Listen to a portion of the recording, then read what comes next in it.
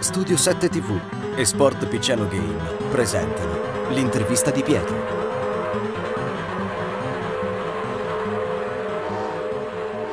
Ospite della puntata.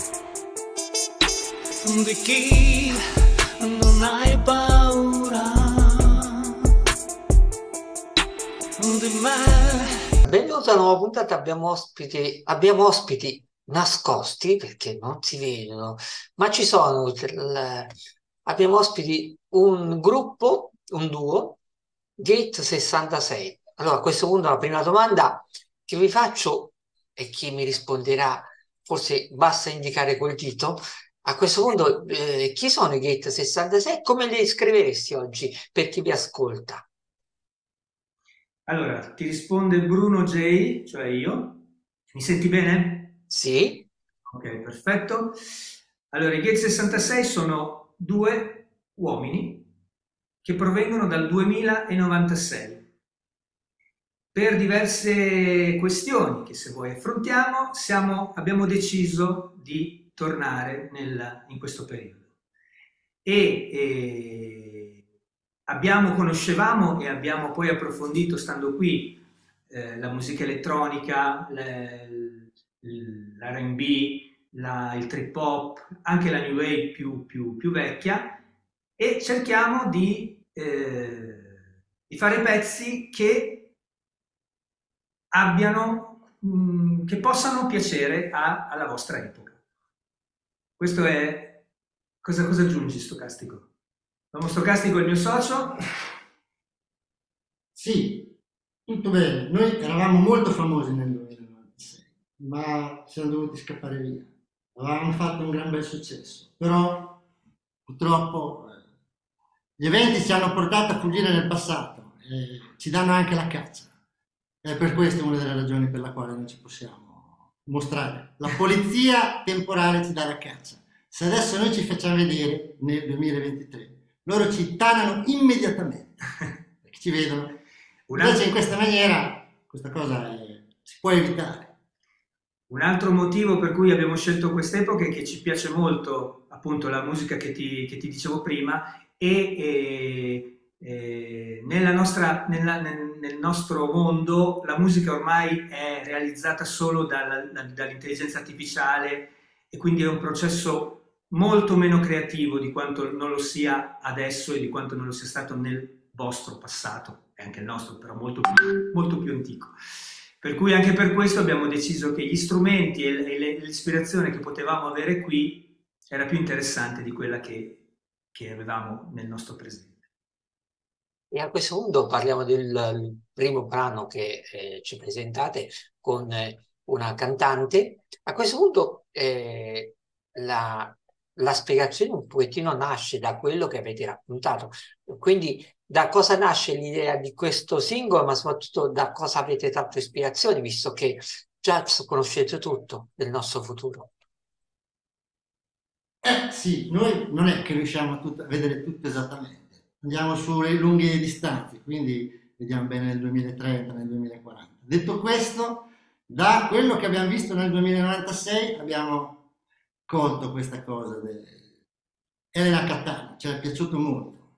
Era una vecchia registrazione RAI e altre cose. E ci siamo detti, la prima persona che dobbiamo contattare per fare una cosa è Elena Catania, perché ci convinceva musicalmente. E questa è la ragione. Fra altre cose, ci sono lei che lavora e fa macelli di armonizzazione, ha- è molto entrata nel mood di questo pezzo, è riuscita a ricalcare molto bene quello che fa Bruno Gelli. E quindi secondo me viene fuori un bel mood che speriamo che venga apprezzato anche dalla gente. E a questo punto, visto che parliamo del 2096, abbiamo detto, eh, lavorare e suonare dal vivo a quei tempi, quel futuro tempo, eh, è simile al attuale oppure eh, c'è qualche emozione oppure eh, sono un po' più remissivi, cioè un pochettino più taciti e meno espressivi rispetto a quello attuale? Ah, ma guarda, la, la situazione nel 2096 è questa. La musica è tutta creata dalla I. cioè viene creata le basi, le voci, i canti. Poi gli umani vanno a quelli che se lo possono permettere, vanno a fare i live dovendo però totalmente fare solo ed esclusivamente quello che è stato creato dalla I, quindi niente più svisamenti, niente più improvvisazione, nulla, si fa quello che è stato scritto prima.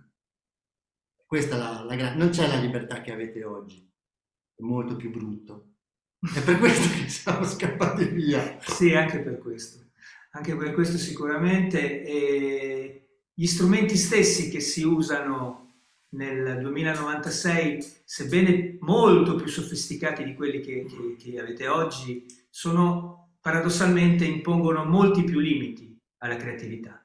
Gli strumenti grezzi ma ricchi che abbiamo trovato qui, eh, parlo proprio di strumenti elettronici che suoniamo, ci danno molta più possibilità di, di essere appunto creativi. Quindi Elena Cattaneo appunto è stata, è stata il primo obiettivo che ci eravamo posti una volta arrivati qui e che già, già avevamo inquadrato prima del, del viaggio, diciamo. E abbiamo visto poi una copertina dove c'è quest'uomo, che, eh, questa persona che è poggiata su un labirinto che in realtà cerca forse una, una via di soluzione oppure vuole, rientri- vuole rinchi- essere rinchiuso direttamente questo labirinto? Allora, la, la canzone parla essenzialmente di, di, eh, dell'identità reale e, del, e, e di un'identità desiderata. Quindi il labirinto di cui parli tu è un labirinto irrisolto, cioè nel senso non sappiamo se eh, la, eh, le due identità si ritroveranno. C'è sempre questa, come dire, come questa, questa lotta mh, affinché l'identità reale coincida con l'identità desiderata, ma non, non sempre accade.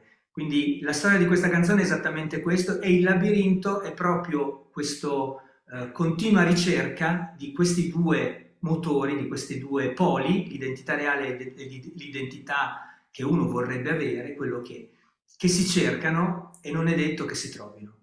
E secondo noi Elena è stata molto brava proprio a, a, a recitare il, se vuoi, il dolore di questa ricerca o, e comunque anche la, la, la voglia di, di, di, di, fare questa ricerca. È proprio nel, nelle corde che ha usato noi abbiamo, abbiamo trovato questo e ci è piaciuto molto. Sì, sicuramente c'è tanto dolore in questo questo è andato di sì, sì, sì, sì. Però, limone.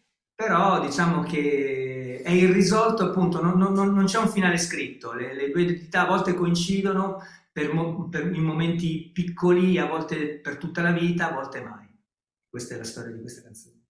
Abbiamo visto anche il video di presentazione del singolo dove mm. effettivamente c'è un'entità eh, appunto artificiale dove queste persone, queste immagini comunque rigirano e c'è questa sensazione del reale in, eh, in artificiale. Bravo, sì. esatto, hai colto nel segno, esattamente. Anche se il video di, di, di tu, il video, il video del brano, non è ancora uscito, quindi... È tutto generato dall'intelligenza artificiale. No, volevo dire questo, che il video, il video che hai visto tu è un promo sì, ah, io, io, parlo del promo perché ah, chiaramente sì. ancora il video ufficiale non, non, è disponibile. Per il promo in fondo rappresenta un pochettino, abbiamo detto, il reale nell'irreale del, dell'artificiale. Sì, sì, sì, assolutamente. Ah, ma guarda, il discorso è questo. Negli anni 20, quello che sta succedendo adesso, eh, quello che la gente sta facendo sui siti, molto è quello di emulare la realtà, cioè far sì che chi guarda l'immagine non sia più in grado di stabilire se un'immagine è reale o è generata. questo è un problema, cioè un problema per chi ce lo vuole vedere. Eh, più avanti sarà un problema.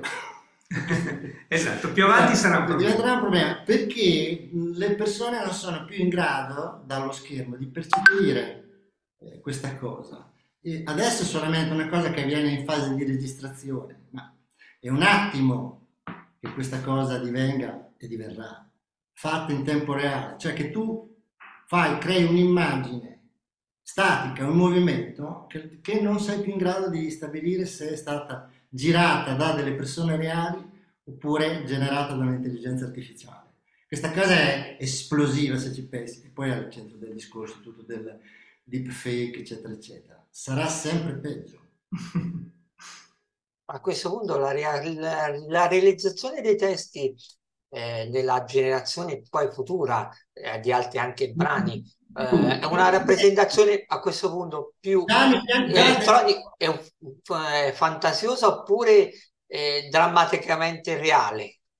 No, è già reale adesso. Allora, aspetta, aspetta. I, te- i testi dei nostri brani fanno molto, molto riferimento a questa, a questa epoca. Ma alle... sono alla vecchia, all'epoca senso esatto. sono stati creati da noi, questo esatto. voglio dire. Cioè noi proprio avevamo... Però, però è già ora possibile andare online e generare delle, dei testi automaticamente, scrivendo solamente il soggetto.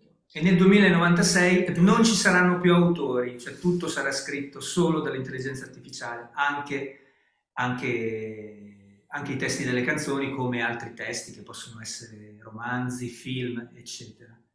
Già si intravede questa cosa e alcuni scappano, noi siamo scappati, non siamo gli unici, alcuni se, se, se cercano di ribellarsi perché chiaramente l'umanità viene, viene dire, ridotta e il modo per riacquistare questa cosa per noi musicisti è stato quello di, tor- di tornare indietro nel tempo, visto che c'era possibile, anche se vietato, e, e cercare di, di, di lavorare come, come, i musicisti del 2023 lavorano.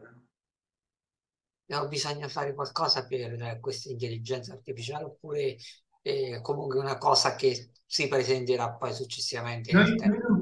non possiamo neanche essere molto dettagliati nel, nella mm. critica perché rischiamo di alterare il presente, cioè è, è, è, anche delicato, al di là del fatto che ci ricercano, per cui dobbiamo, dobbiamo anche stare attenti a questo, poi diciamo che le informazioni che possiamo dare sono un pochettino più generali. Detto questo, lo Skynet è molto vicino. molto più di quanto la gente si possa immaginare. Perfetto, io tanto vi ringrazio per essere stati ospiti, quindi...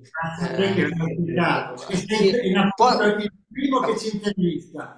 Ah, a questo punto una domanda sorge spontanea. Nel 2096 chi vince il campionato?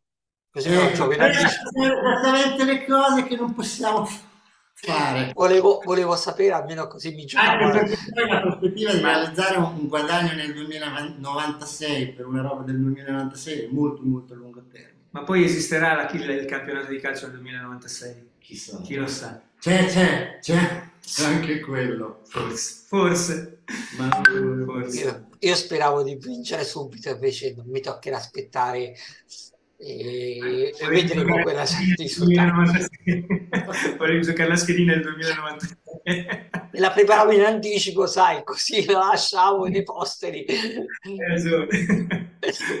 Niente, ci ha provato. Io allora vi ringrazio di essere stati ospiti. A questo punto Grazie. ci mancano soltanto una cosa fondamentale, i saluti finali.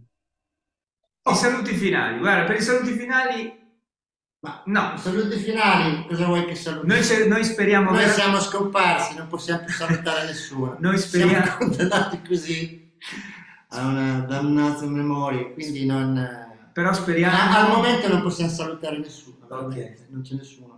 Però... Grazie comunque. Beh, salutiamo Elena se per caso vedrà questo Ah sì, l'ufficio stampa. Vabbè, loro, Camilla dell'ufficio stampa e, e speriamo soprattutto che, che questi brani, questo. adesso è uscito questo, eh, a gennaio ne uscirà un secondo e poi, e poi altri, speriamo che, che, siano interessanti per, nel futuro. Per voi. Ragioniamo a lungo termine. Noi vi diamo appuntamento nel 2096 alle ore 20 del 31 gennaio e ci, ci incontreremo per fare una nuova intervista. Ah, guarda, molto volentieri. Ti aspettiamo, ti aspettiamo. Grazie ancora.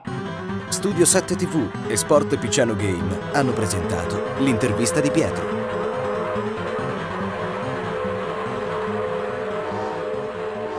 Ospite della puntata. Di chi non hai paura di me